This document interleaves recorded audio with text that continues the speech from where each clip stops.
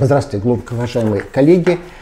Мы завершаем наш цикл лекций «Диагностика и лечение неврологических расстройств от теории клинической практике». Сегодня мы будем говорить вот про прием терапевта.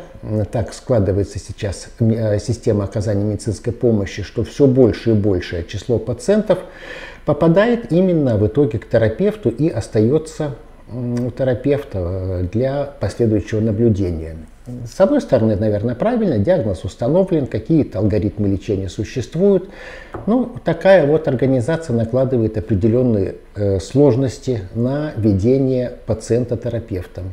Все-таки специалисту требуется очень большое количество знаний в разных областях медицины. Мы ведь говорим только про э, неврологию, а, к сожалению, к терапевту будут э, попадать пациенты другого профиля, да, и просто объем знаний, который требуется он невероятный. Ну, видите, мы пережили эпоху сверхузких специалистов, да, сейчас переходим к расширению а, вот наших, как говорят сейчас, компетенций. Вот никуда не денешься, придется жить в тех условиях, в которых мы поставлены. И вот тема сегодняшней беседы – коррекция симптомов или патогенетическая терапия. А, на самом деле э, такой немножко полемически заостренный, э, вот это заостренная формулировка – но дело в том, что если вот серьезно говорить про пациента с хронической цереброваскулярной патологией, мы зачастую не понимаем, почему, для чего проводится лечение. Э, чуть позже мы коснемся этого более подробно. И вот на примерах вы вспомните ваших пациентов, и станет понятно, почему ожидаемый эффект от, казалось бы, правильно подобранной терапии, разумной терапии он не достигается. Ну, все-таки э, надо понимать, чего мы хотим, назначая то или иное лекарственное средство тому или иному конкретному пациенту. И, конечно, в любом случае мы должны начать вот с каких-то э, э, вещей определения, с каких-то глобальных проблем, которые позволят рассмотреть более детально некоторые частные особенности, частные нюансы э, вот, взаимоотношения э, коллег наших, нас с вами и пациентов с хроническими цереброваскулярными расстройствами. Ну, во-первых, сама терминология. Все-таки мы пользуемся термином хронической ишемии мозга, об этом не раз шла речь уже. Но что такое хроническая ишемия мозга, так никто до сих пор и не знает. Это больше такой умозрительный термин который позволяет объединить и вроде бы хроническое течение заболевания, и э, вроде бы э, наличие сосудистой патологии, ну и э, мало объяснимого прогрессирующего течения вот этого вот поражения мозгового вещества. Конечно, обязательно, если мы говорим про цереброваскулярную патологию, мы должны понимать, что имеет место сочетание эпизодов острых нарушений кровообращения головного мозга, причем они могут быть как ишемическими, и, э, так и геморрагическими, и механизмы, которые приводят вот к хроническому прогрессирующему поражению. Вот это очень важный момент. Дело в том, что э, важна роль не только сосудистых патогенетических механизмов. Ишемия запускает целый ряд процессов, которые ну, нельзя назвать чисто сосудистыми. Это и нейродегенерация, это и воспаление, и некоторые другие патофизиологические механизмы. Это, это очень важно понимать. Э, пытаясь воздействовать на факторы сердечно-сосудистого риска, мы, к сожалению, не всегда можем добиться должного эффекта вот в отношении замедления нейродегенерации, того же самого нейровоспаления. Обычно у одного и того же пациента имеет место сочетание нескольких э, механизмов развития поражения мозгового вещества, э, причем на разных стадиях э, развития заболевания. Те или иные из них могут принимать меньшее или большее участие. Это тоже очень важно. Процесс не является застывшим во времени, как это ну, само понятие процесса, он не может быть застывать во времени, он движется. Вот, и роль тех или иных э, участников этого процесса, она меняется. Вот опять-таки, условно говоря, был перенесен эпизод острой ишемии или кровоизлияние перенесено, пускай даже асимптомное или малосимптомное. Э, казалось бы, все, э, исчерпана роль сосудистого фактора. А вот э, приобретают роль в этой ситуации совершенно другие механизмы. Опять-таки, довольно сложная картина, э, включающая в первую очередь когнитивные, эмоциональные, поведенческие расстройства. Все-таки нарушения движений, чувствительных функций, они позже присоединяются. Как правило, с них заболевания не дебютируют. И вот эта картина из эмоциональных, когнитивных и поведенческих расстройств очень сложна и зачастую не всегда удается правильно понять нозологическую принадлежность этих расстройств. С одной стороны, мы говорим, э, что все это обусловлено ишемией головного мозга, что не всегда, скажем так, удается убедительно подтвердить и не всегда соответствует истине.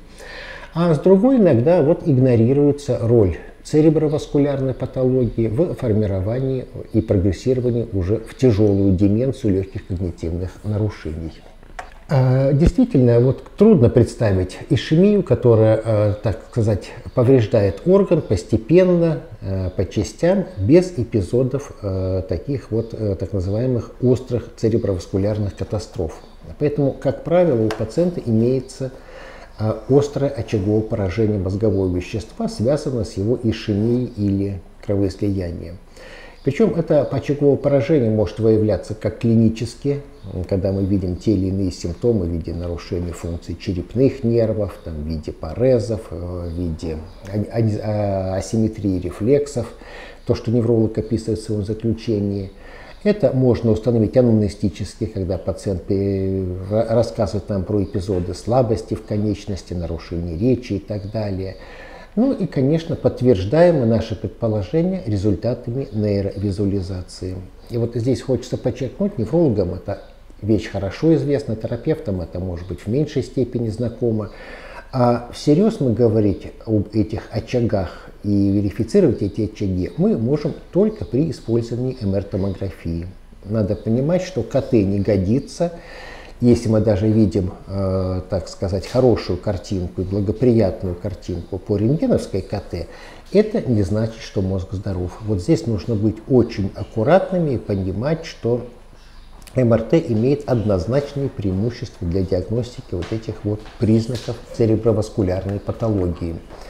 Вот. И опять-таки надо принимать во внимание, какой, э, на каком приборе проведены исследования. Все-таки современные томографы с напряженностью магнитного поля от полутора Тесла и выше дают одну картину. А приборы старого образца или вот некоторые э, приборы, которые имеют э, менее такие высокие характеристики напряженности поля, они могут не показать очень значимых изменений. так что не вдаваясь вот в эти подробности, просто призыв э, запомнить, что МРТ предпочтительнее, чем КТ, и второе, то, что МРТ тоже может быть разным и по характеристикам прибора, и по характеристикам используемых вот этих вот режимов проведения исследования. А что очень важно, вот эти вот очаговые или признаки очагового поражения, обычно они описываются как э, э, кисты постинфарктные или последствия кровоизлияния, иначе могут быть термины предложены. Самое главное, что есть очаговые изменения. Они, как правило, сопровождаются атрофическим поражением мозга. И вот нужно обращать внимание, когда в заключении специалиста по МРТ мы видим такое сочетание. Очаговые изменения или мелкоочаговые изменения – и расширение, скажем, э, э, желудочковой системы, объем желудочков увеличивается, или уменьшение, при признаке уменьшения толщины коры больших полушарий. Вот сочетание очагового и генерализованного э, атрофического процесса. Обязательно нужно обращать внимание на соматические заболевания все-таки есть те заболевания соматические, гипертензия, сахарный диабет, нарушение функции щитовидной железы, которые могут делать течение процесса более быстрым, более, так сказать, грубо, э, позволяют протекать атрофическому поражению мозга. И вот обратите внимание на последний пункт, все-таки э, на сегодняшний день. Может быть это дань моде, может быть это действительно объективный, так сказать, факт. Но очень большое внимание уделяется воспалению. Причем воспалению низкой интенсивности, хроническому. Это то воспаление, которое невозможно выявить э, при помощи, скажем, там, анализа крови, сдвига лейкоцитарной формулы мы не увидим. Соотношение клеток, ну, может быть, где-то позволяет в ряде случаев. То есть вот в том-то и проблема этого воспаления низкой интенсивности, что оно существует, но не выявляется при помощи наших стандартных маркеров в виде формулы крови, в виде соя, в виде С-реактивного белка, фибриногена. Здесь требуются более тонкие диагностические тесты. Ну и, естественно, никто не говорит о том, что они должны использоваться в клинической практике. Этого сделать невозможно, но по определенным причинам, потому что ни одна страховая компания э, не согласится оплачивать такие исследования, не входит в стандарты обследования пациента. Вот. Просто для себя мы понимаем, что сегодняшнее э, представление о патогенезе цереброваскулярной патологии подразумевают обязательное наличие воспалительного вот этого вот процесса. Ну и когда мы говорим про эту вот хроническую ишемию мозга или хроническую цереброваскулярную патологию, вот таких три серьезных вопроса. Насколько ишемия носит хронический характер, как связаны ишемия острая и хроническая, ну и какова, собственно, роль ишемии в развитии данного процесса.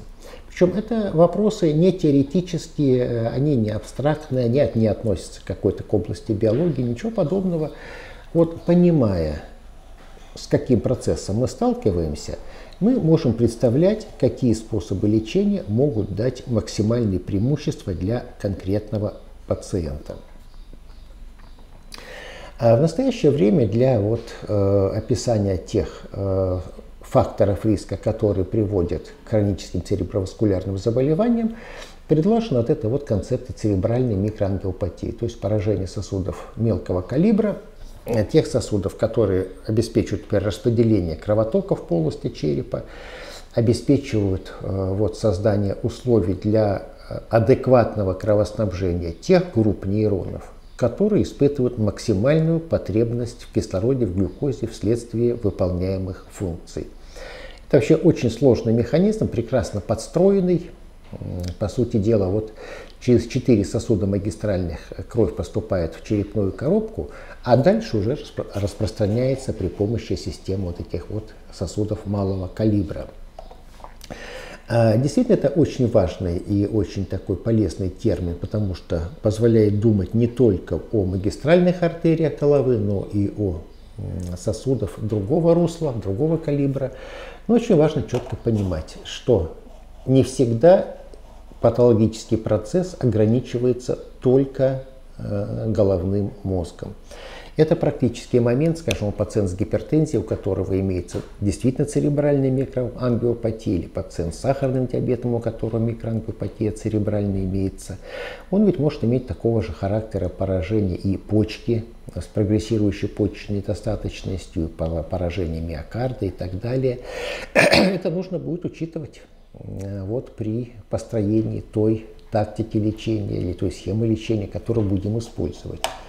Э, не часто бывает только микроангиопатия, э, могут страдать сосуды и крупного калибра. И опять, если мы подтверждаем такое повреждение, да, э, то, соответственно, это потребует уже использования и других способов лечения. Ну и, наконец, не только поражаются сосуды, но и мы уже говорили, подключаются другие механизмы вследствие, вслед за перенесенной ишемией или за кровоизлиянием, уже наступает реакция вот этого вот воспаления, дегенерации и так далее. А опять-таки, почему об этом мы говорим и почему это нужно иметь в голове? А, дело в том, что если мы считаем процесс чисто сосудистым, он потребует одного лечения и одних мероприятий для вторичной профилактики. Если мы понимаем, что процесс носит более сложный характер, соответственно и э, схемы лечения будут усложнены. А то, о чем мы говорили, не застывшая картинка, а меняющаяся роль вот этих вот факторов на разных стадиях развития заболевания. Так вот, э, церебральная ангиопатия – этот термин очень нужен, очень важен. Э, он позволяет понять, почему страдает мозг, и позволяет э, напрячь, чтобы искать поражение и других органов системы организма, позволяет более активно использовать и другие и лекарственные, и хирургические способы лечения. Но в чем его недостаток? Ну, во-первых, это, конечно, не болезнь, это синдром. Э, вот, огромное количество патологических процессов э, могут привести к э, нарушению структуры и функции этих мелких артерий. То есть мы не должны рассматривать как болезнь, а должны обсуждать только в рамках синдрома и искать его уже этиологическую принадлежность. Это очень важный момент, потому что можно поставить диагноз болезнь мелких сосудов, успокоиться и, скажем, диабет будет процветать, или анго, амилоидная ангиопатия будет э, прогрессировать. Ну вот, а мы будем говорить о каком-то вот изолированном поражении одного или нескольких сосудов. Дальше очень большая проблема с диагностикой. Да, действительно, современные способы МР-томографии позволяют вот все перечисленное прекрасно выявить, описать и оценить полуколичественно.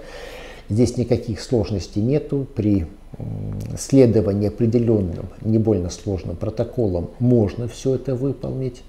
Но нужно четко понимать, что когда мы выявляем в мозге структурные изменения, вот последствия скажем, или микрокровоизлияний, или лакунарных инфарктов, или расширение переваскулярных пространств. В любом случае речь идет о том, что мозг уже пострадал.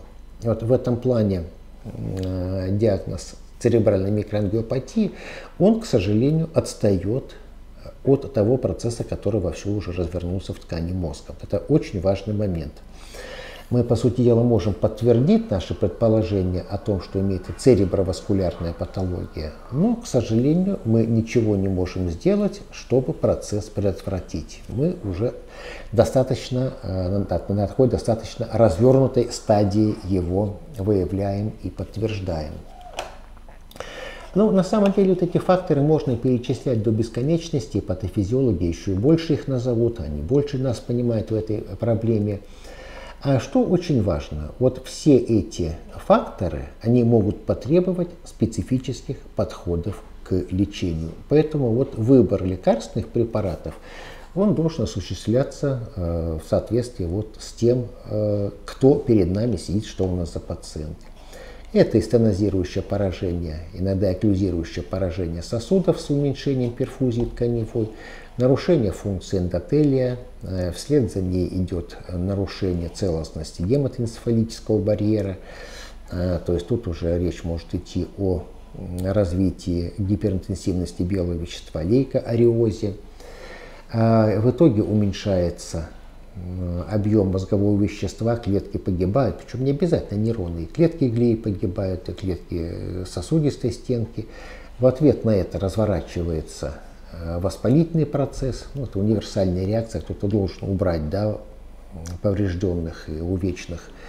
Вот. В итоге дело заканчивается радигенерацией. То есть это очень сложный, очень такой распространенный процесс, э, имеющий различные механизмы своего формирования.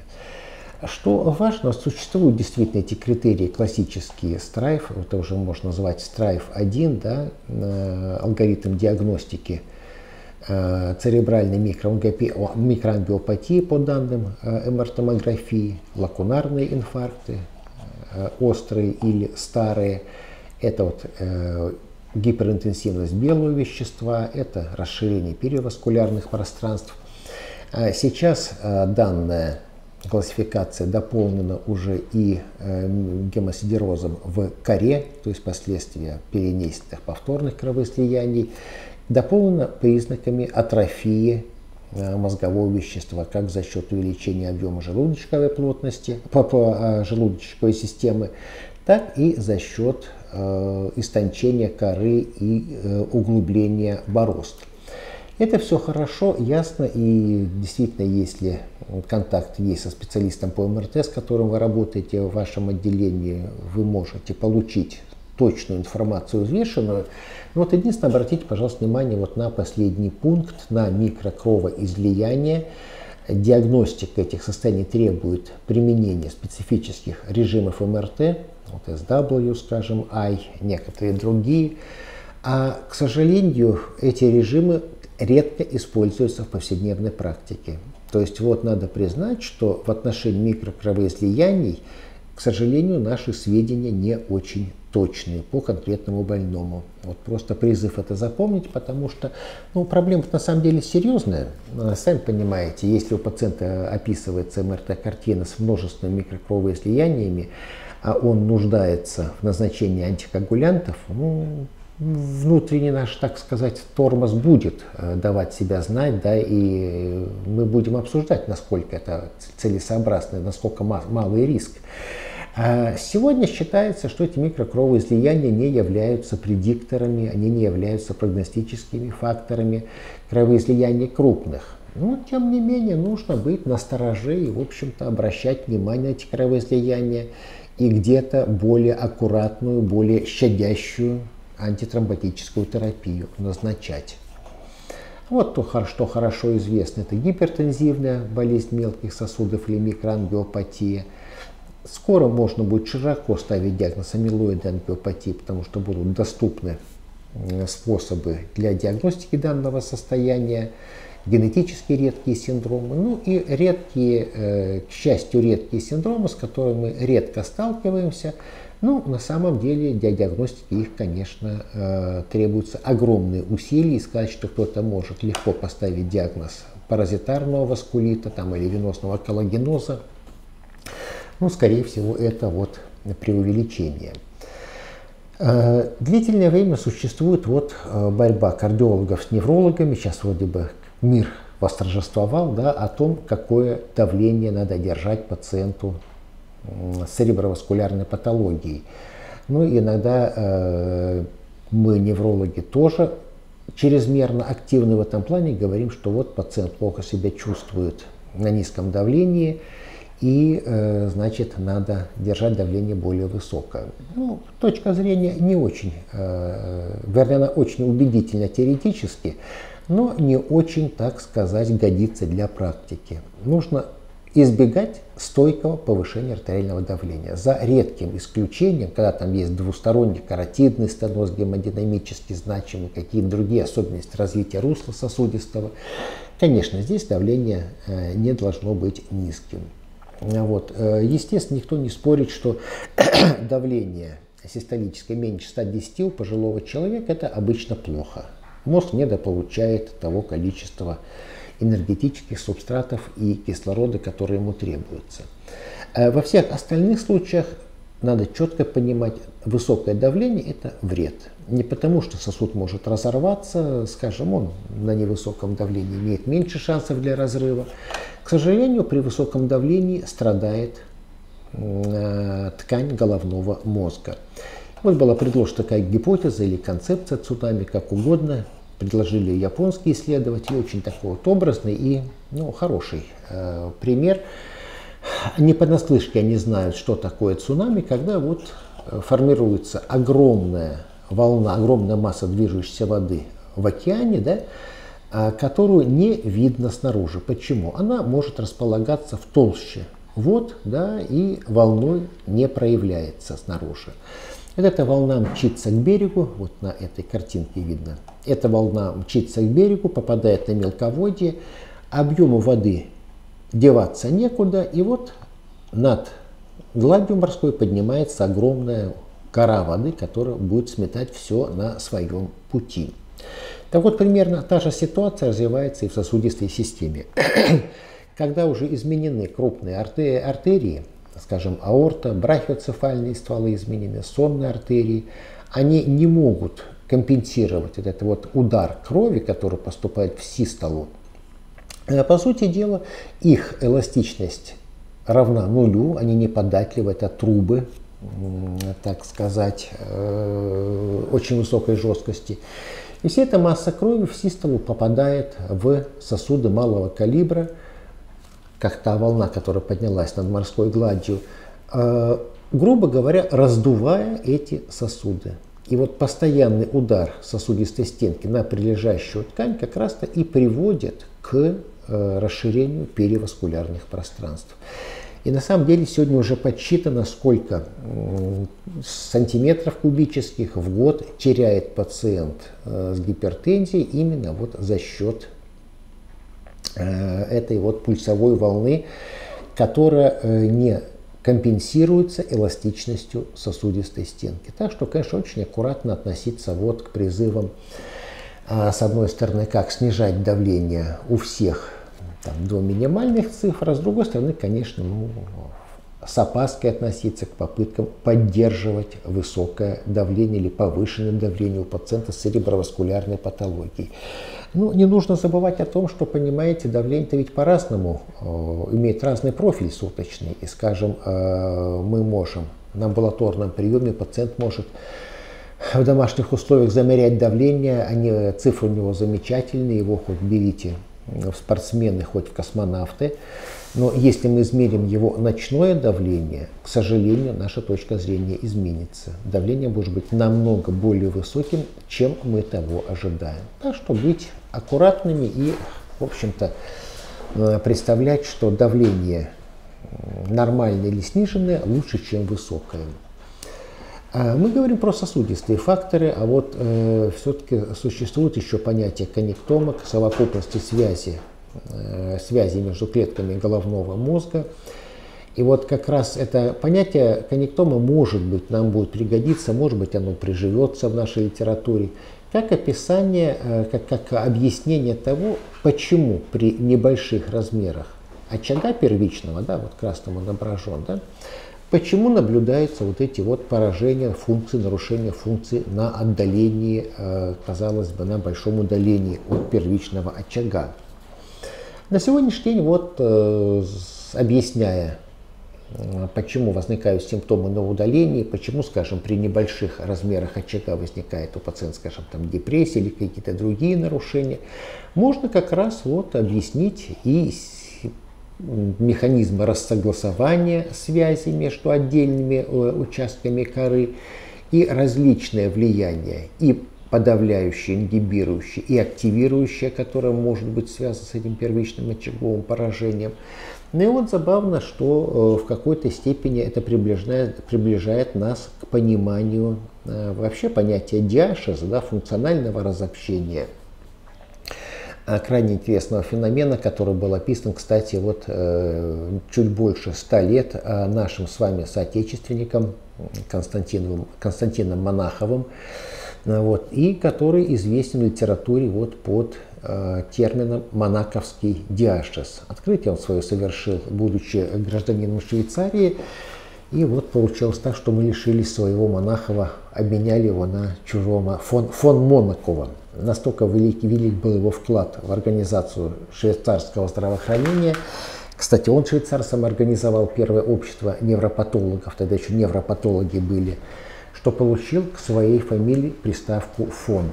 Опять-таки, вот это коннектома, понятие коннектома может объяснить, почему мозг перестраивается и почему такие сложные синдромы – Э, когнитивных нарушений, почему такие сложные симптомы поведенческих расстройств возникают при очаговом поражении мозгового вещества.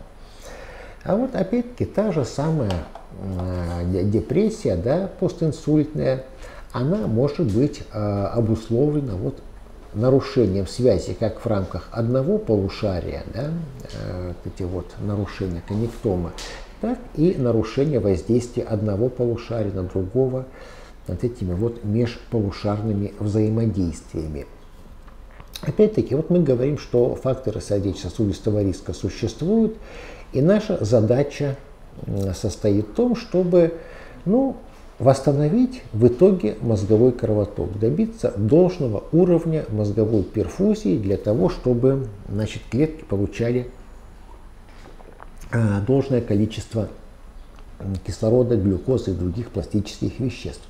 Казалось бы, все ясно и все понятно, и вот исходя из таких позиций можно считать, что если очаговой симптоматики э, после обратимой ишемии не осталось, то все хорошо и мы свою функцию выполнили.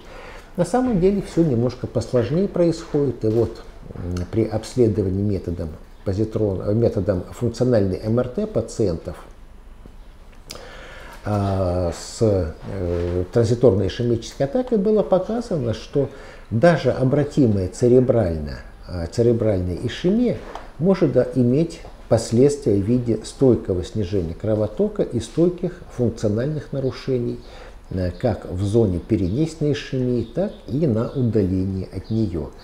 Это, кстати, такая серьезная проблема. Э, казалось бы, все обошлось, кровоток восстановился, но для нас перенесенная ишемия обратимая, должна быть не, не менее грозным, не менее угрожающим симптомом, нежели ишемия стойкая.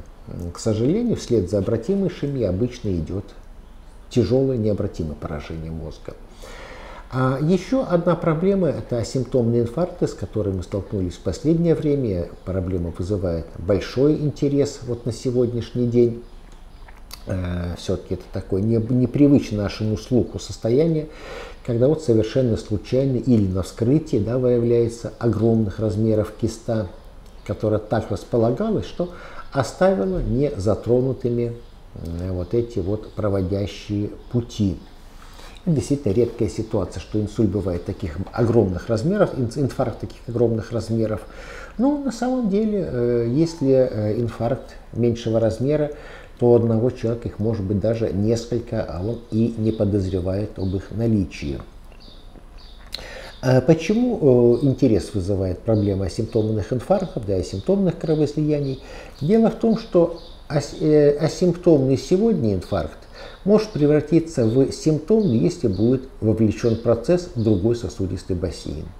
То есть это просто маркер того, что ситуация плохая, уже звоночек прозвенел и надо предпринимать соответствующие усилия. И вот недавно была дискуссия вот с известным нашим специалистом в области когнитивных нарушений, в области цереброваскулярных нарушений с Владимиром Владимировичем Захаровым. Вот он очень точную мысль высказал о том, что асимптомные инфаркты – это маркер такого вот сосудистого неблагополучия мозга. То есть это и маркер, и уже, так сказать, патогенетический мехофактор, который вот сработает на будущее. Дело в том, что эти асимптомные инфаркты, они тесно связаны с риском и развития повторного симптомного инфаркта, и когнитивными последующими нарушениями, последующим атрофическим поражением мозгового вещества. И вот а, хочется обратить внимание, что в МКБ 11 пересмотра, ну, трудно сказать, будем на него переходить, не будем, если будем, то когда, это не наша, по большому счету, забота, как скажу, так мы и поступим. Вот, но обратить внимание, что в этой классификации уже есть термины бессимптомных или асимптомных церебральных инфарктов, и бессимптомных мозговых кровоизлияний. Ну, вообще любопытно очень, да, если бы, скажем, в свое время кто-то из нас на экзамене сказал про симптомные кровоизлияния головного мозга, да, да, было бы двойка, и пришлось бы сдавать экзамен осенью, да. Вот, видите, прошло какое-то время, и вот эти вот, казалось бы, абсолютно а, идеи а, а, диссидентские, да, были зарегистрированы вот международной классификации болезней. То есть наука развивается, мы получаем новые знания, и что отрадно эти знания не остаются где-то, вот знаете, в пыли библиотек, а действительно приходят в нашу жизнь. А вот, ну, будут определенные изменения формулировки и э, когнитивных нарушений, и деменций – Э, то, что, наверное, тоже очень важно, и э, то, что необходимо для более правильного понимания сущности патофизиологического процесса. Опять вот мы говорим, что все вроде бы ясно с этой микроангиопатией, и мы разобрались и поставили точки над «и», когда страдают сосуды мелкого калибра, когда страдают сосуды крупного калибра а вроде бы, ну, можно успокоиться. На самом деле э, э, исследования показали, что не все так просто, не все так однозначно.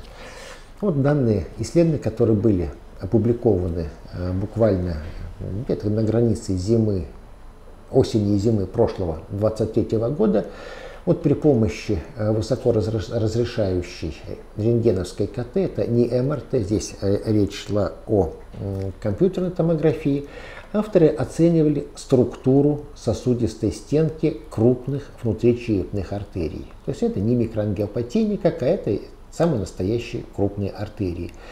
И э, значит, данный, данный диагностический инструмент, вот это вот высокоразрешающее КТ, позволяет определить содержание кальция, солей кальция, его соединения в сосудистой стенке. Ну, по сути дела, речь идет о прижизненной диагностике кальциноза артерий. И вот что оказалось. Чем более распространен кальциноз крупных артерий, причем еще раз надо сказать, что речь идет о крупных внутричерепных сосудах. Да? Чем более, больше артерий поражено, тем более выражена гиперинтенсивность белого вещества, тот маркер микроангиопатии, про который мы с вами только что говорили. Опять-таки это подчеркивает, насколько зыбка грань между сосудами э, разного калибра и насколько сложны э, проблемы диагно... формирования диагностических критерий. Ну вот, пожалуйста, продолжение той же работы. Чем больше кальция накоплено в сосудистой стенке, да, чем более выражен кальциноз, тем опять-таки более тяжело протекает вот эта вот гиперинтенсивность белого вещества. То есть постоянно идет обновление знаний, и вот новые сведения поступают нам. Вот э, авторы изобразили вот э, полу, два полукруга э, такого бурого цвета. Это как раз вот кальциноз средней э, оболочки одной из, одного из мозговых сосудов, одной из мозговой артерии. И вот чем больше таких э, измененных артерий, тем хуже состояние паренхимы мозгового вещества. Опять-таки, коль скоро мы говорим, что крайне редкая ишемия бывает хронического течения, мы должны подразумевать, что пациент переносит или инфаркт головного мозга, асимптомный или симптомный инсульт. И вот хочется подчеркнуть, что не только объем и локализация очага определяют риск развития когнитивных нарушений. Понятно, что это а, ключевой фактор, который определяет, будут нарушения и такие или нет. А, а не меньшее значение, может быть, чуть меньшее значение имеет так называемое здоровье мозга, с которым пациент пришел к этому инсульту, наличие неизменяемых или изменяемых факторов риска. То есть Ситуация более сложная, чем рассуждение о том, что вот очаг э, большой или маленький только своими размерами отличается и, значит, может определить исход заболевания. Вот результаты любопытнейшего исследования, посвященного оценке степени атрофии мозгового вещества.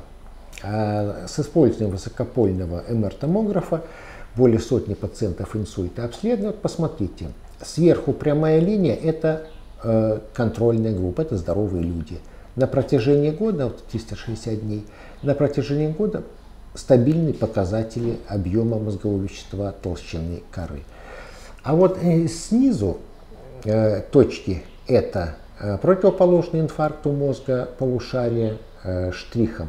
Штрих, штрихами, пунктиром изображено, э, изображено полушарие, где инфаркт случился. Смотрите, что получается – а, и пораженное, и условно здоровое полушарие претерпевают более выраженную атрофию, чем в контрольной группе, вот верхняя прямая линия. Да, конечно, более выражен атрофический процесс именно в пораженном полушарии, но противоположное страдает не меньше. Причем, если вот, скажем, здесь речь шла о поражении таламуса э, или суммарном объеме полушарий, то вот, пожалуйста, как реагирует кора на перенесенный инфаркт. Здоровый член контрольной группы, вот, пожалуйста, э, э, штриховая линия – это пораженное полушарие, а вот э, точечной линией изображено полушарие противоположное. А что очень важно, вот это атрофическое поражение никак нельзя объяснить только э, недостатком кислорода и глюкозы. Это другие механизмы, соответственно, требуется и другое лечение. Это более сложная схемка. Вот э, темные столбики – это э, вырост атрофии с, от исходной точки, от момента развития инфаркта. И через 3 месяца светлые – то, что происходит через 3 месяца по 12 месяц. И вот обратите внимание, что намного выше столбики темные, да, и в стальном полушарии, и в противоположном. Это говорит о том, что наиболее быстро процесс атрофии протекает именно в первые три месяца после инфаркта. И опять-таки вот э, больные получали и реваскуляризацию, и тромболитическую терапию, получал кто-то тромбоэкстракцию. Все включенные в это исследование пациенты получали адекватную антитромботическую терапию, там, в зависимости от потребности или антиагреганта, или антикоагулянты. А, о чем идет речь? У всех кровоток был в той или иной степени восстановлен, вот, и э, не было повторных инфарктов. То есть вот в отношении кровотока все было сделано здорово и все было сделано правильно. Видите, но эти достижения не привели к уменьшению выраженности атрофического процесса. Вот это то, с чего мы с вами начинали. Да? А разные механизмы на разных этапах включаются. И вот, к сожалению, даже хороший кровоток после перенесенного инсульта не является залогом полного выздоровления. Вот любопытное наблюдение. Пациенту на протяжении 12 месяцев после инфаркта проведены МР-томографии головы. Вот сама зона повреждения. Через какое-то время видно формирование глиального рубца, изменяется тень э, вот, этого, вот этой зоны повреждения и локальная атрофия. Ну, все нормально, все правильно протекает.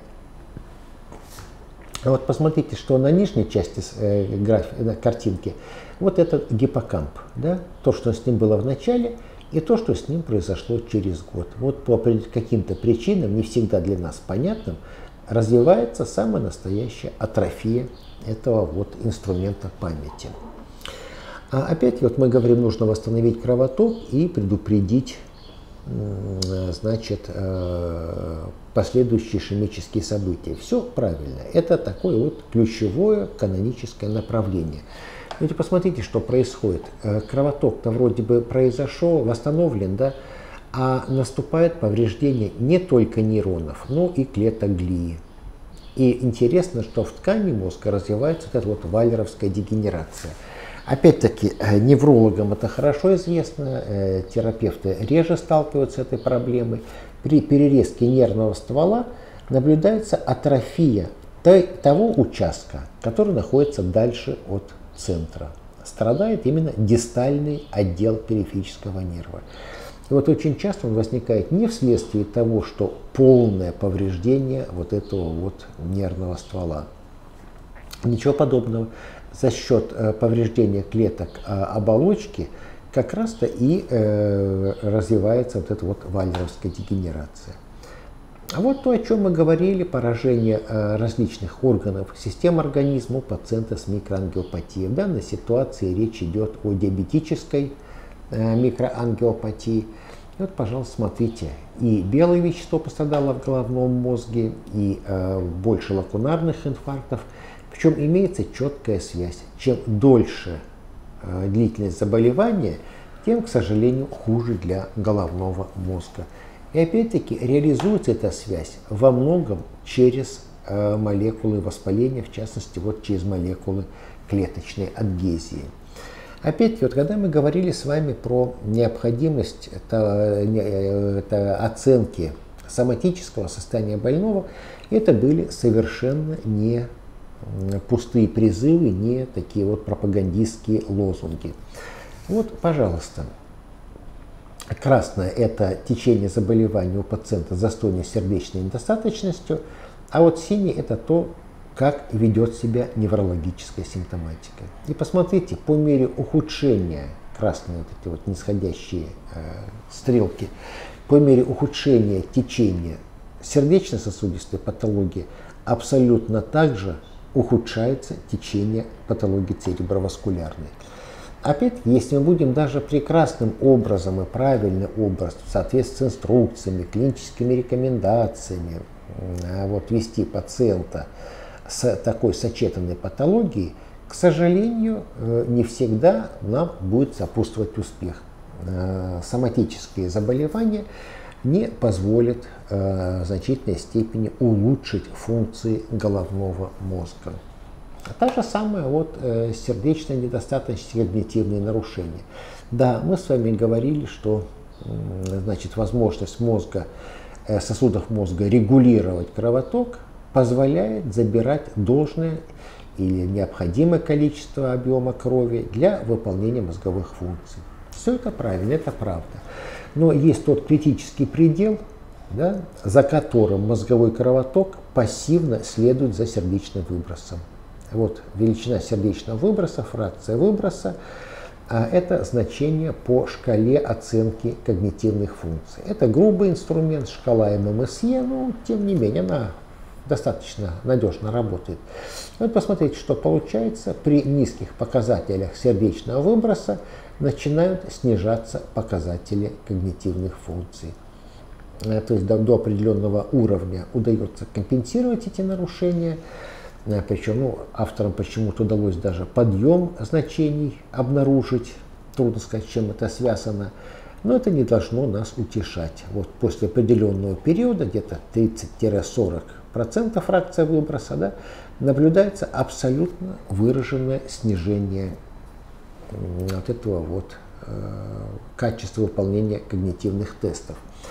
Опять вот мы говорим про э, перенесенный инсульт, про сочетание эпизодов острой хронической ишемии, но ведь есть и другие э, механизмы повреждения мозга. Вот посмотрите, э, синдром метаболический, где имеет место инсулинорезистентность и избыточная масса тела, вот, пожалуйста, атрофическое поражение мозгового вещества. То есть вот к вопросу о том, с чем связаны данные изменения? С э, сосудистой патологией, да? или все-таки это нейродегенерация? Не всегда удается установить, что здесь ключевым является. А вот другой пример роли факторов сердечно-сосудистого русла факторов сердечно-сосудистого риска, извините, пожалуйста. Оказывается, даже сама по себе гипергликемия, даже обратимая, приводит к поражению гиппокампа. И вот э, ярким цветом а, изображены здесь наиболее ранимые, наиболее уязвимые его фрагменты. Это хвост, это вот бахромка. Э, то есть, когда мы видим такого пациента, казалось бы, имеются факторы сердечно-сосудистого э, риска, имеется нарушение когнитивных функций, и мы вполне имеем право ставить диагноз хронической цереброваскулярной патологии, мы должны помнить, что вот совсем другие механизмы могут приводить к поражению мозга, и наши попытки улучшить мозговой кровоток не всегда будут успешны. А вот на уровне инсулинорезистентности, на уровне предиабета, пожалуйста, та же самая, то же самое атрофическое повреждение э, бахромки и хвоста гиппокампа. Э, сочетаются периодически вот эти два э, фактора старения и ожирения. Причем речь не просто идет об избыточной массе тела, ничего подобного, это накопление вот бурого жира в организме, который, способен, который связан с выработкой вот этих вот провоспалительных молекул, э, запускающий процесс повреждения самых разных органов и систем организма. И, конечно, об этом также нужно помнить. Это серьезная проблема, и не напрасно сегодня столько интереса вот к выявлению жировой ткани в эпикардии, выявлению переваскулярной жировой ткани. Это один из маркеров вот этой вот хронической низкой интенсивности воспаления. А, и опять-таки здесь надо а, представлять и рассуждать, размышлять, какие способы лечения а, могут вот это вот воспаление устранить. Дело в том, что такое воспалительное поражение низкой интенсивности, оно связано с вовлечением в патологические процессы вещества головного мозга. Жировая ткань, которая продуцирует большое количество вот этих вот провоспалительных элементов, которые действуют и на периферии, мышцы, и печень и так далее, но которые могут запускать патологический процесс и в головном мозге.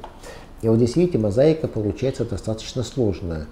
Факторы сердечно-сосудистого риска реализовались в виде эпизода церебральной ишемии, головной мозг страдает и, значит, развивается в нем процесс нейровоспаления, а вот его еще подстегивает системный воспалительный процесс, который делает развитие заболевания более быстрым и повреждение мозга более тяжелым. Опять-таки, вот казалось бы, ну какое отношение социальная изоляция может иметь к состоянию когнитивных функций и хронической ишемии головного мозга? Имеет, оказывается, и самое непосредственное. Вот через э, нарушение функционирования выработки, значит, за счет нарушения выработки неких, некоторых гормонов, нарушение э, гипоталамо-гипофизарно-надпочечниковой э, оси или системы, Опять-таки индуцируется системное воспаление, нейровоспаление, а заканчивается процесс отложением вот этих вот патологически измененных белков.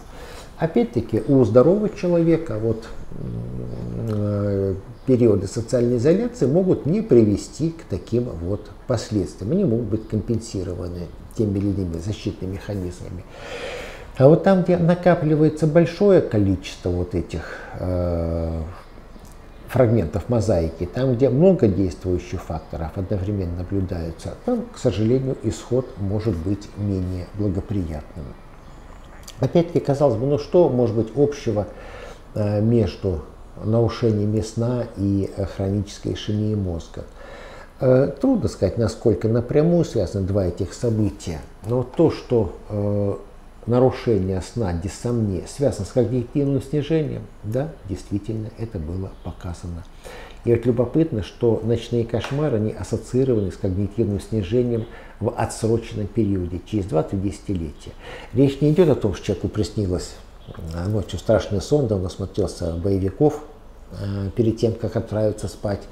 И он последующие 20 лет ждет, когда разойдется его деменция. Нет, конечно, это не, неправда. Э, речь идет о систематических нарушениях ночного сна, о систематических ночных кошмарах. Другое дело, что если более подробно пообследовать пациента, можно будет обнаружить, что не только ночные кошмары, но и другая симптоматика у него имеется. Но тем не менее кошмары, как маркер, как маркер могут быть связаны с неблагоприятными последствиями пожалуйста, стол страдает. Структура мозгового вещества, причем интересно, что нельзя говорить, что э, бессонница связана только с угнетением деятельности тех или иных отделов мозгового вещества. Ничего подобного. Э, некоторые отделы могут быть активированы, а в некоторых плотность снижается клеточек э, или наоборот развивается глиоз. И опять-таки при благоприятном течении процесса такая симптоматика может быть компенсирована а, полностью вот собственными ресурсами организма. А там, где уже были перенесены очаги ишемии или очаги кровоизлияния, там, где имеются факторы сердечно-сосудистого риска или факторы ускоренного старения мозга, там, к сожалению, ситуация может быть менее благоприятная. Вот опять-таки мы не напрасно столько говорим о, казалось бы, отвлеченных э, вещах, как поражается мозг, понимая, что происходит с мозгом, можно понять, что можно сделать в плане терапии. И вот хочется подчеркнуть, что любой из пунктов вот этой вот таблички, он не исключает значимости э, его так, рядом расположенных пунктов. Условно говоря, мы должны думать о предупреждении э, повторного или первичного острого инсульта. То есть мы пытаемся назначить антикоагулянты или антиагреганты, использовать антигипертензивную терапию и так далее. Но что очень важно, предупреждение инсульта абсолютно не связано с замедлением прогрессирования головного мозга, прогрессирующее поражение головного мозга. Это очень важный момент. Потому что иногда ну, приходилось слышать такие высказывания, вот пациент получает аспирин, почему у него не улучшаются когнитивные функции. Ну, потому что они, к сожалению, не могут да, от аспирина улучшиться. Э, препарат замечательный, ценнейший, но восстановить функции он не может. Это очень важный момент. Э, решаются разные задачи. Первый пункт – стараемся снизить риск развития инсульта. Второй – попытки замедлить прогрессирующее поражение. Причем очень сложно отличить, где поражение мозга прогрессирующее носит ишемический, где не сосудистый характер. Мы не напрасно говорили сегодня о том, какие опасности кроются за той же самой гипергликемией, за той же самой инсулинорезистентностью, за теми же самыми диссомническими э, нарушениями. Конечно, желательно, чтобы эти факторы подверглись регуляции. Прекрасно понимаю, что ну, в реальной жизни далеко не все так просто. И, во-первых, пациент не всегда э, готов выполнять наши требования. А, скажем, нормализация массы тела и должный уровень физических нагрузок могут встретить ярую, так сказать, ярое сопротивление, потому что ну, больной пришел за лекарствами, правда, ему говорят, что кушать, чем питаться, да, он же не, не этого хотел от нас услышать. Это серьезная проблема, ну, санитарная грамотность населения, она, скажем так, далека от того, что бы нам нужно было. Но в любом случае, если нет адекватного контроля факторов сердечно-сосудистого риска, к сожалению, говорить о реальной профилактике инсульта и замедления прогрессирования когнитивных нарушений не всегда получится. Соматические заболевания, понятно, почему нуждаются в коррекции, аккуратно и без излишних, так сказать, э, агрессии мы пытаемся компенсировать когнитивные эмоциональные нарушения, обеспечив пациенту должный уровень нагрузок. Вот это вот стимулирующая среда. Но опять-таки э, нужно трезво относиться к этой проблеме и сказать, что если мы, что мы можем большей части пациентов обеспечить когнитивный тренинг, наверное, было бы не всегда справедливо. Ну, не все готовы на такие вот действия, не все готовы на настойчивое овладение новыми знаниями и на контроль своего самочувствия. Это серьезная проблема, но будет решена хорошо, не будет, к сожалению, ситуация может затормозиться. Ну и симптоматическое лечение, устранение наиболее значимых симптомов. Вот э, любопытнейшие данные э, о модификации образа жизни. Да? как время, проведенное у монитора, влияет на риск развития деменции. Э, речь не идет о работе, о профессиональной деятельности за монитором. Это вот просиживание часов в поисках новостей, в таких вот в развлекательных, на развлекательных сайтах и так далее. Абсолютно четкая связь. Чем больше времени проведено за монитором, тем выше риск развития когнитивных нарушений. И наоборот, ну, если работаете за монитором, это одна ситуация, да, если э, вы знаете, но здесь монитор взят э, просто в виде вот одного из маркеров, характеризующих времяпрепровождение. Условно говоря, я думаю, что если провели бы подобную, э, подобные исследования по чтению, скажем, там, газет или художественной литературы, или литературы исторической, были бы получены сопоставимые данные. Так вот, что очень важно, если баланс между временем у телевизора и физической нагрузки смещается в пользу телевизора, для организма хуже, для когнитивных функций хуже. Если э, баланс смещается все-таки в пользу физической нагрузки, да, действительно, удается добиться гармонии и э, риск развития когнитивных нарушений будет в какой-то степени снижаться. Опять-таки, каким образом э, вот эти вот очень интересные и очень нужные данные внедрить в жизнь и как можно пациенту объяснить, что для него полезней дать себе э, возможность походить хотя бы вокруг дома, но в хорошем темпе и немножко физически поддержать себя, а не просиживать время значит, там, у телевизора или у монитора не, работаю, не рабочего компьютера, вот именно для, для развлечения, вопрос очень сложный, потому что ну, не всегда мы в этой ситуации можем встретить должное понимание у нашего собеседника.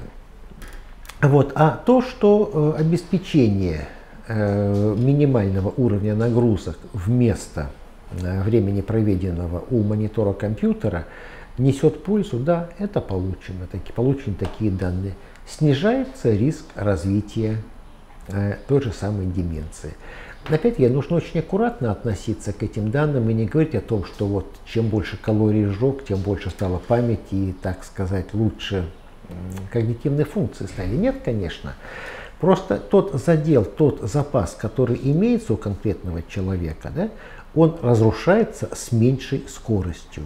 Да, э, вот надо четко разделять понятие здоровья мозга, оно достаточно э, рыхлое, э, определение его ну, не очень э, имеет очерченные границы. Э, нужно различать здоровье мозга и состояние когнитивных функций. То есть, если э, улучшить качество когнитивных функций возможно только при систематической работе, да, то поддержать здоровье мозга и замедлить прогрессирование когнитивных нарушений, да, пожалуйста, это можно вот при помощи замены просиживания, просмотра телевизора, да, Э, на физическую нагрузку. Могут, конечно, быть и полумеры, скажем, ну не просто рассматривание телевизионной картинки, передачи, а какое-то обсуждение, какой-то анализ э, увиденного, услышанного, э, пересказ собеседнику того, что было увидено. Это более конструктивная направленность, и она требует уже ну, включение целого ряда функций. Это функции речи уже, это необходимость анализа полученной информации, необходимость вот вычленения более значимых и менее значимых каких-то вот а, какой-то информации из контекста. Нельзя все уж так а, под одну гребенку стричь. Но для сохранения здоровья мозга, не говоря уже о поддержании сосудистого здоровья, конечно, однозначные преимущества имеет нагрузка перед вот, таким пребыванием в состоянии нирваны отдыха возле колдующего монитора. Ну и на самом деле получены данные о том, что э, физическая нагрузка в ряде случаев может обеспечить более качественное состояние мозга даже при наличии серьезных заболеваний. Вот данные любопытного исследования. Э, пациенты э, молодого и среднего и пожилого возраста оценивался уровень физической у них активности на протяжении как минимум одного месяца.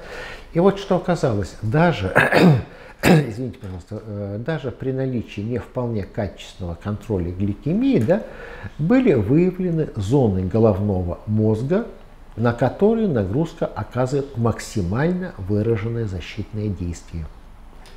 Это действительно очень любопытные данные. А, еще раз надо подчеркнуть, что речь не идет о приобретении новых навыков. Это не, право, не совсем правильно. Да? Речь идет о том, что сохраняются те или иные структуры мозга, обеспечивается должный уровень вот этого вот здоровья мозга. Так что развития могут быть разные.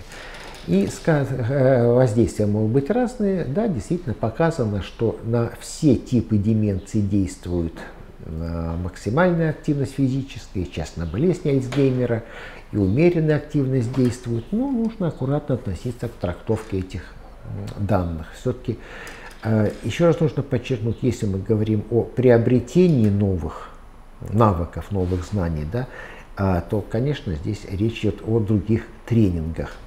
А если речь идет о здоровье мозга и здоровье сердечно-сосудистой системы, да, конечно, здесь нагрузка сделает свою дело, и дело сделает свое очень мощно. А, конечно, если мы видим, что пациент понимает, что мы от него хотим, если пациент видит, э, что, если мы видим, что пациент готов предпринять реальные усилия для того, чтобы снизить риск вот этой вот прогрессирования хронической цереброваскулярной патологии, замедлить формирование нейродегенеративного процесса, конечно, мы должны и можем объяснить необходимость вот этих вот тренингов для э, работы когнитивных функций, для приобретения новых знаний, для поддержания гибкости мыслительных процессов. Ну, конечно, это сложная, сложная задача и далеко не всем пациентам она под силу. А в отношении диеты, да, конечно, рациональная диета, она необходима, она должна быть подобрана под контроль, под конкретного пациента. А на сегодняшний день считается уже, видите, не просто средиземноморская почему-то диета должна быть, а вот такая, э, имеющая низкий провоспалительный потенциал.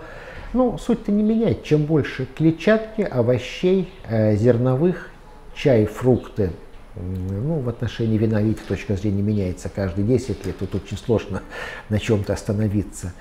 Вот, в принципе, это так называемая провоспалительная здоровая диета.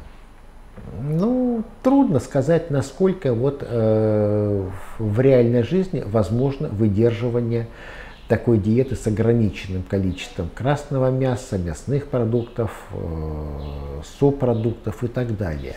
Понятно, что при возможности э, желательно ограничить объем данных продуктов в пищевом рационе, но, наверное, говорить о том, что надо полностью отказаться от мяса, перейти на курицу здоровому человеку, наверное, не всегда это резонно, не, далеко не всегда это ну, будет правильно принято а, нашими пациентами во внимание.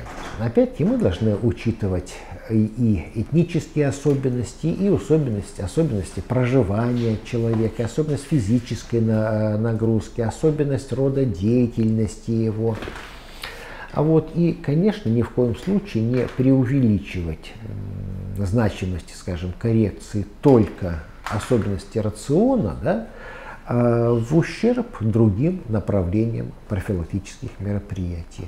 Условно говоря, питается зеленью, травой, закусывает семечки, запивает чаем, да, но при этом не выходит из дома и полулежит за монитором компьютера. Да. Ну, вряд ли такой вот перекос как говорили, перекос на местах, да, даст э, реальный эффект при сохранном действии других факторов сердечно-сосудистого риска. Все-таки нужен более сбалансированный, более такой вот подход, взвешенный, с воздействием на разные Э, механизм патогенеза. Мы не напрасно сегодня столько долго говорили вот о разнообразии э, механизмов, повреждающих головной мозг. Их очень много, и, соответственно, должно быть очень много путей защиты мозга и э, предупреждения развития заболеваний новых и предупреждения прогрессирования заболеваний имеющихся. А что касается лекарственной терапии, конечно, это предупреждение эпизодов повторных или первичных ишемии это стимуляция репаративных процессов, ну и, конечно, попытки включить собственные ресурсы организма. А лечение должно быть безопасным, с, этим никто э, не спорит. А вот, но, к сожалению, риски лечения всегда существуют, потому что мы проводим комбинированную терапию с подбором ряда препаратов, ну и конечно, лекарственная нагрузка на организм также может быть э, не всегда благоприятной для конкретного пациента. Вот к этой картинке многократно уже приходилось обращаться. Это вот тот опыт, который просто мы обязаны взять на вооружение и этим путем не ходить. Это данные из э, базы данных страховой компании США. Более миллиона пожилых пациентов, уже имеющих диагностированную деменцию – пожилые люди.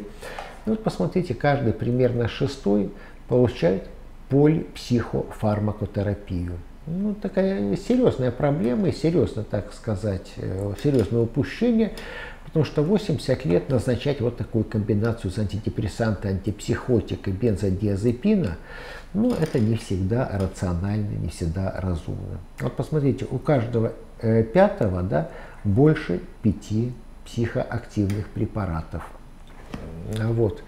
Сказать, что можно объяснить и можно прогнозировать, как эти препараты будут действовать в одном организме, в организме пожилого человека с нарушением функции многих органов, а в организме человека, который получает еще дополнительные препараты, ну, в общем-то, это было бы немножко лукавство, элемент лукавства был. Извините, пожалуйста, я оговорился.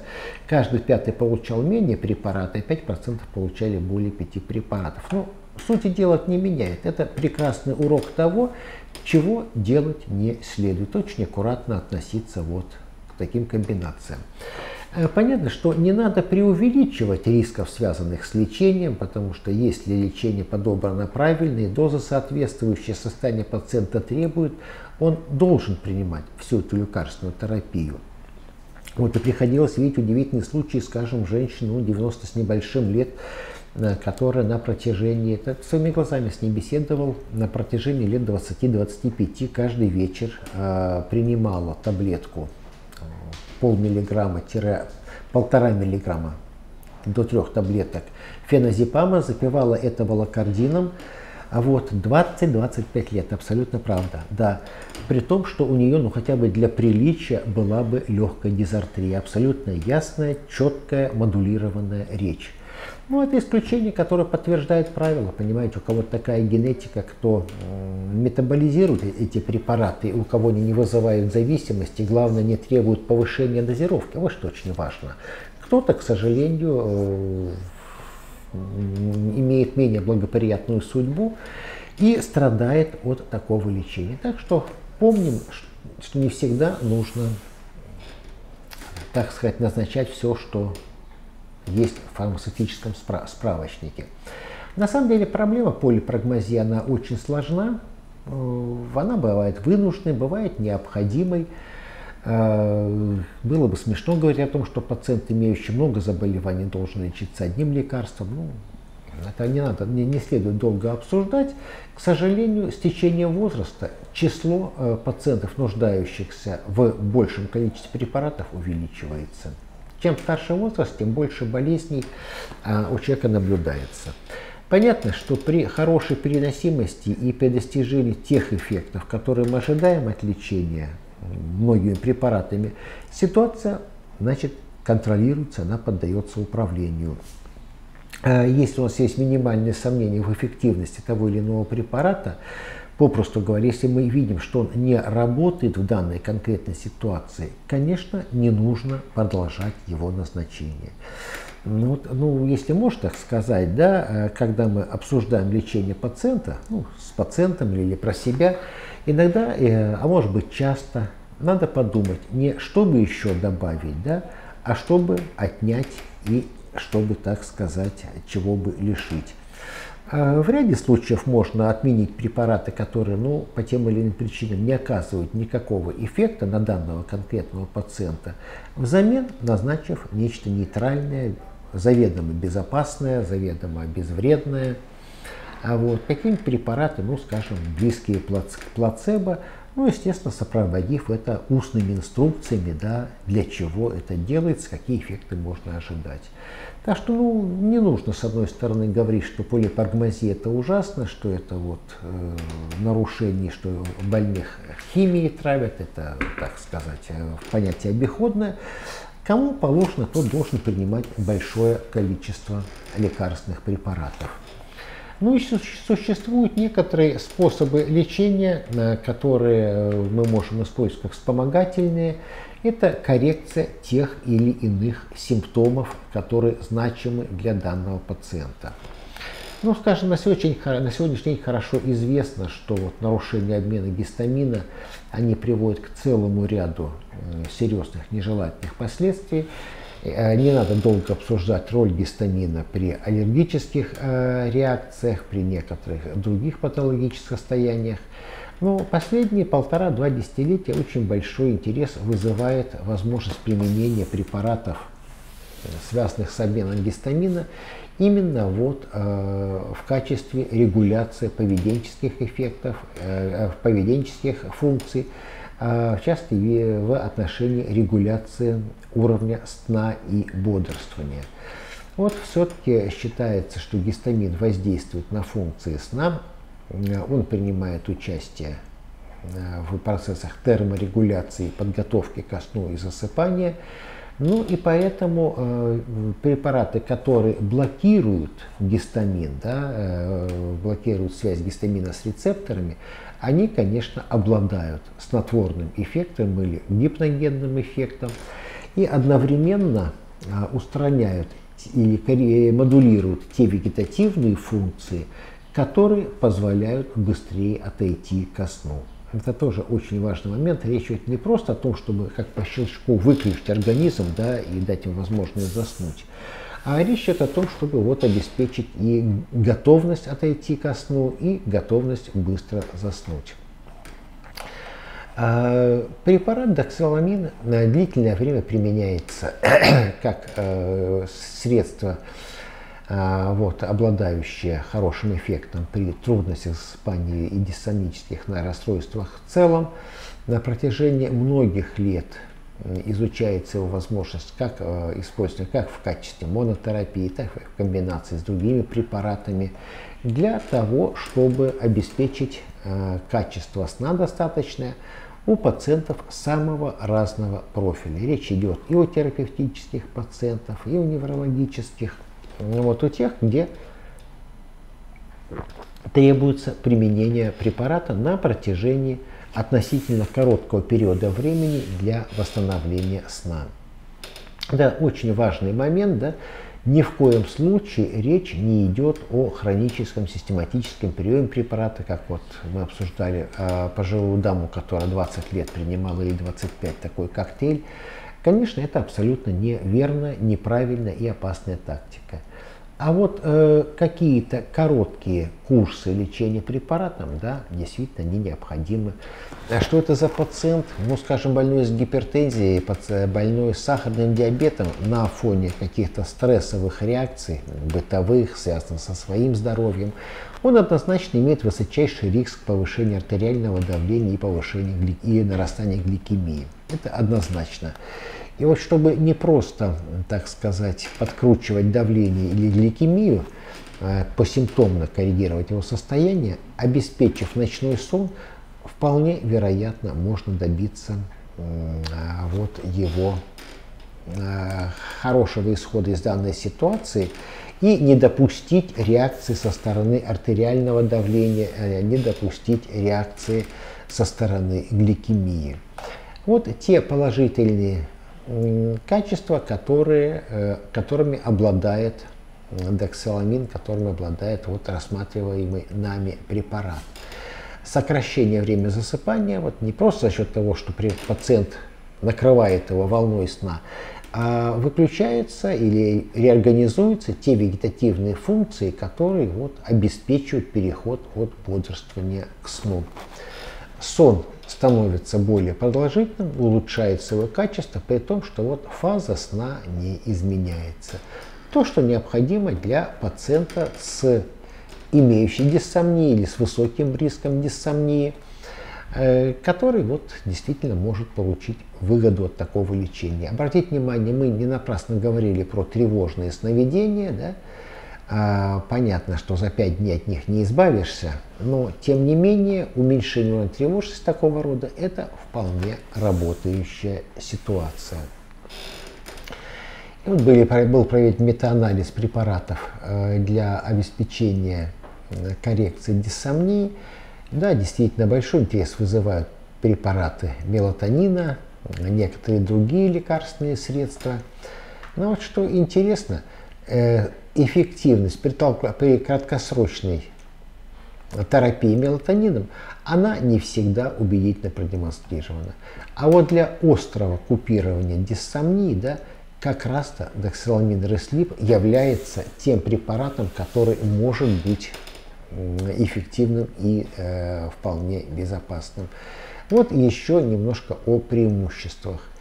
Э, по сути дела, сопоставимые Z-препаратами эффект в отношении скорости засыпания и поддержания ночного сна, но полное отсутствие э, таких вот неприятных последствий, как синдром отмены, лекарственная зависимость и так далее. Это вот очень важное, э, так сказать, свойство препарата, комбинация положительных свойств при вполне хорошей переносимости. Что касается беременности, ну, вы знаете, конечно, вопрос в каждом случае индивидуально решается. А вот насколько необходимо а, вот, э, беременная женщина назначая снотворные препараты, надо очень хорошо взвесить, насколько действительно вот такое лечение целесообразно. Может быть, где-то лучше какими-то физическими мероприятиями, э, беседой психотерапевтической, разъяснительной, прогулкой перед сном добиться более легкого э, засыпания. А что касается э, качества препарата Реслип, вот были проведены исследования по терапевтической, фармацевтической его эквивалентности. Э, было проведено Александром Юзовичем исследование с коллегами о том, как Реслип работает при острой диссомнии в шести центрах нашей страны было проведено вот данное исследование, в котором несколько больше было женщин. Что оказалось? Э, оригинальные дексаламин и реслип продемонстрировали абсолютно идентичную клиническую эффективность. Причем как э, реслип, так и оригинальный дексаламин по сути дела, не отличались друг от друга по влиянию на выраженность диссомнии. Оба препарата давали положительный эффект, значительное уменьшение трудностей засыпания и плохого ночного сна примерно на 50%. Вот динамика показателей Питтсбургской шкалы качества сна на фоне э, оценки двух препаратов. А вот шкала дневной сонливости Эпорта в двух группах. Зеленый оригинальный препарат, такой вот оранжевый, это препарат Реслип. Хорошее уменьшение примерно на 50% по сравнению с исходным уровнем. Причем обратите внимание, что у Реслипа может быть выраженность эффекта была даже больше. Скажем, чуть меньше 50% в группе сравнения у оригинального э, препарата, да, и примерно в два с небольшим раза, ну, сколько здесь? Где-то на 55-58% у пациентов, которые получали реслип. Так что хоро хорошая эффективность, которую отметили и сами пациенты, вот обратите внимание, врачи-наблюдатели, как полную или частичную эффективность а, расценили состояние 77% включенных в исследование больных. Это в группе сравнения, а вот посмотреть, что получилось по Реслипу. 96% сказали, что да, это то, чего мы добивались. Это то соотношение скорости отхода ко сну, скорости засыпания и качества сна, и числа побочных эффектов. Вот соотношение качества и эффективность э, абсолютно говорит в пользу применения препарата Реслип вот такими короткими курсами терапии. Нежелательные явления, они существуют, но их значимость абсолютно оказалась вот невысокой и не очень серьезной. Так что вот э, одним из способов коррекции диссомнических нарушений у пациента с ишемическим повреждением мозга является как раз назначение реслипа, назначение доксаламина. Доксаламина. вот обратите внимание, что в целом в ряде клинических рекомендациях и использование препарата при хронической диссомнии, э, вот, и при э, острой депрессии, депрессивном расстройстве или рецидиве, при нарушениях сна у пациентов с коморбидностью или полиморбидностью. То есть при разных ситуациях у нас есть одно из направлений коррекции вот этих вот э, нарушений сна, которое необходимо для того, чтобы не просто сон восстановить, да, а уменьшить влияние и диссомнии, и других факторов на хроническое прогрессирующее поражение головного мозга. Спасибо большое за вопросы, за внимание. Если есть вопросы, постараюсь на них ответить. Подскажите, пожалуйста, э, может быть такой диагноз – хроническая ишемия головного мозга, подсинсультное когнитивное снижение. Вы знаете, но если есть зарегистрированный диагноз инсульта, а зачем говорить про хроническую ишемию головного мозга? Лучше писать про последствия инсульта, в том-то в том заключающееся постинсультное когнитивное нарушение. Так будет намного рациональней. Здравствуйте. Если в режиме Т2 МРТ выявлены микрогеморрагии с гипертенсивностью белого вещества, то это уже критерий ранней степени э, стадии ДЭП. Знаете, в чем дело? Все-таки дисциркуляторная цефалопатия – это диагноз клинический. Здесь нужны анамнестические данные – сосудистом заболевании, а, данные анамнестические об эпизодах острой ишемии и результаты клинического обследования которая позволяет выявить ту или иную симптоматику. Все-таки э, выносить э, диагноз ДЭП в заключение по МР-томографии нет, этого делать не надо. А так, конечно, можно говорить про, про один из критериев церебральной микроангиопатии. Другое дело, сколько этих микрогеморрагий, как они расположены, где расположены. То есть а, системный ли это процесс, или может быть действительно ограниченный после травмы и так далее. Вот. Но единственное, ДЭП э, специалисту по МРТ в диагноз писать не следует. Как на МРТ отличить э, сосудистую микроангиопатию от микроангиопатии при церебральной, ами, ами, амилоидной, ами, церебральной ами, амилоидной ангиопатии? Да, действительно, вопрос сложный. Э, можно использовать и критерии МР-томографические, обязательное исследование цереброспинальной жидкости, и в ближайшем будущем у нас будут доступны э, тесты вот для биохимического подтверждения диагноза церебральной амилоидной ангио, микроангиопатии. Э, какие препараты лучше получать, назначать на домашнем этапе реабилитации, чтобы замедлить трансформацию когнитивных нарушений в постинсультную деменцию?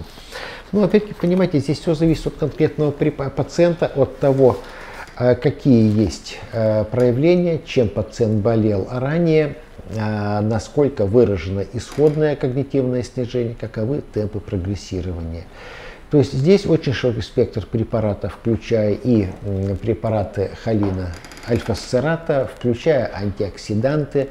А если есть основания, это могут быть истинные противодементные препараты, а, мемантины или, значит, а, ингибиторы холинестеразы. Вполне вероятно, что здесь могут быть и препараты белковой структуры, вот эти кортексины, целикс, церебролизин. Все зависит от конкретной ситуации, того, что в клинической картине есть, и, конечно, от того, как процесс прогрессирует. Возможно ли сочетание э, э, ингибиторов холинестеразы и холиномиметиков у больных с когнитивными нарушениями на фоне хим? Нет, вы знаете, сочетать холиномиметики и препараты антихолинестеразы, наверное, ингибитор, э, ингибитора ацетилхолинестеразы, наверное, не стоит все-таки. Вот. Хотя можно использовать препарат альфасцерата и те же самые мемантины. Это такое возможно. Можно использовать холина альфасцераты, да немножко, извините, не совсем правильный вопрос, а, да, холиномиметики центрального действия или препараты, восполняющие пол ацетилхолина, вот, и препараты, э, ингибиторы центральной ацетилхолинестеразы. Конечно, такое, такое возможно, такая комбинация возможна. Извините, пожалуйста, вот тут не совсем сразу Э, разобрал, разобрался в вопросе. У пациента с ХИМ наблюдается сценно-невротические нарушения с перевозбуждением и жалобы на головокружение. Возможно применение седативных средств. Если да, что будет наиболее эффективно? Спасибо за лекцию. Вам спасибо большое за внимание. Но вы знаете, здесь, конечно, надо смотреть, что у пациента э, за клиническая картина. Понимаете, действительно это невротическое нарушение Э, с перевозбуждением, или это может быть просто вариант панических атак. Понимаете, все-таки они могут иметь атипичный характер, панические атаки с теми же самыми с вестибулярными, с атактическими нарушениями, когда ну, пациент не, не осознает и не описывает свои ощущения как тревогу, беспокойство, да, вот, а, э, что называется, соматизирует свои жалобы. Понимаете, это будет одна ситуация. Э, соответственно, э, противотревожные препараты для купирования отдельного приступа, ну и подумать, насколько он будет нуждаться в профилактическом лечении. Дальше. Есть все-таки это действительно вот невротические нарушения, в том числе и при хим, что требует серьезного уточнения, понимаете, а почему хим даст невротические нарушения, может это не ситуационная какая-то реакция, да? Начинать, конечно, от простого к сложному. А если это не тяжелое расстройство, бога ради, препараты без рецептурного доступа. А вот, если ситуация более тяжелая, то, конечно, подумать, что будет предпочтительней. А систематический прием противотревожных препаратов или перевод пациента на антидепрессанты.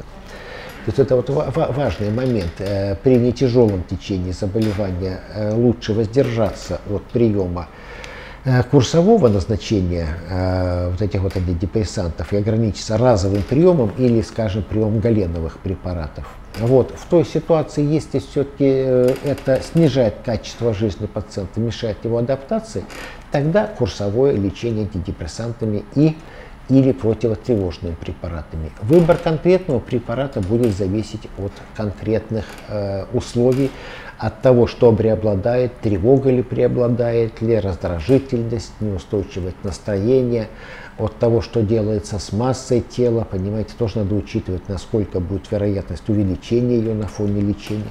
Но здесь уже конкретно состояние больного определяет выбор препарата. Спасибо большое за вопросы. Есть еще, да, вопрос? Хорошо. Вот, так что, понимаете, к сожалению, вот, ну, мы можем говорить только, только об общих подходах к лечению э, при, таких пациентов и назначению препаратов. Э, сказать конкретно, не видя пациента, что ему поможет и какой препарат нужен, это всегда очень рискованно и не всегда имеет смысл. Спасибо большое. Надо ли менять дозу реслипа для пациентов старческого возраста? Нет, вы знаете, смысла в замене, в замене дозы нету. Э, препарат назначается на короткие сроки действия, и мы не говорим и не подразумеваем риска накопительного эффекта, так что дозу менять особенного смысла нету. Все, да?